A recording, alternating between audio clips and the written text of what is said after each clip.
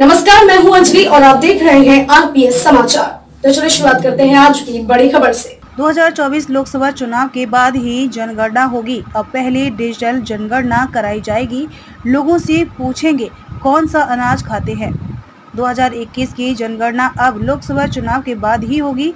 News agency PTI की report के मुताबिक सरकार ने अभी तक जनगणना के नए कार्यक्रम की घोषणा नहीं की है। 2024 के लोकसभा चुनाव अप्रैल मई में होने हैं। उससे पहले कर्मचारियों को वोटर लिस्ट अपडेट करनी है।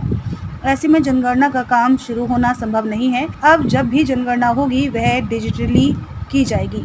यह देश की पहली डिजिटल जनगणना होगी। इसमें लोगों से इकतीस सवाल पूछे जाएँगे। जनगणना का काम कोरोना महामारी के कारण पहले अनिश्चित काल के लिए स्थगित कर दिया गया था।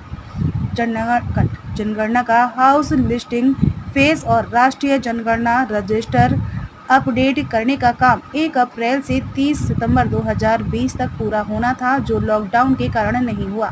नए ज़िले बनाने की डेडलाइन 30 जून तक बढ़ी।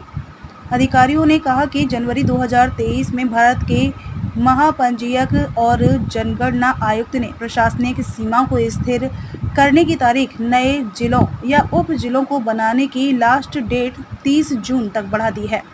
ट्रेनिंग देने में लगेगा समय, चुनाव आयोग देगा वोटर लिस्ट, रिवीजन का काम। जिलों के अनुसार जनगणना जिला तहसील, ब्लॉक और पुलिस स्टेशन की सीमाओं को फ्रीज करने के तीन महीने, यानी 30 सितंबर के बाद ही हो सकती है। देश के उनतीस लाख सरकारी कर्मचारियों, शिक्षकों को ट्रेनिंग देने में भी तीन दो महीने लगेंगे, जो जनगणना करने घर घर जाते हैं। इस बीच चुनाव आयोग भी अगले आम चुनावों के लिए मतदाता सूचियों की जाँच का काम शुरू कर देगा। खबरों में अब तक ये बस इतना ही। मिलते हैं फिर ऐसी ही बड़ी खबर के साथ। तब तक के लिए नमस्कार और देखते रहिए आरपीएस समाचार।